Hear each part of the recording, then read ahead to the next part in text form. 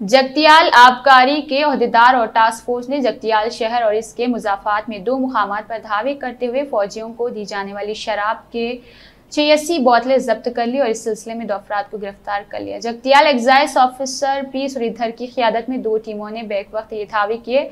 Amrita agro industries Sri Rampalli कोडेमाल mandal में मुख्तलिफ़ brands की दिफाई शराब हर एक सात सौ पचास मिलीलीटर साइज़ में जब्त की।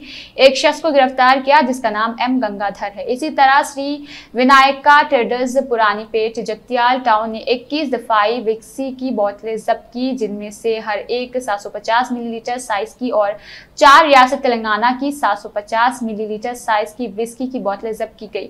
और प्रभाकर नामी शख्स को गिरफ़्तार कर लिया गया। एक्साइज ऑफिसर सुरीधर ने बताया कि फौज में इस्तेमाल होने वाली शराब को दूसरे अफराद इस्तेमाल नहीं कर सकते और जो शराब की बोतलें जब्त की गई, वो सिर्फ़ कर्नाटक में इस्तेमाल की जा सकती है। इसे दूसरी रियासतों में मुंतकिल करना गैर कानूनी है, इसीलिए दोनों मुलजमीन के खिलाफ मुकदमा दर्ज किया गया।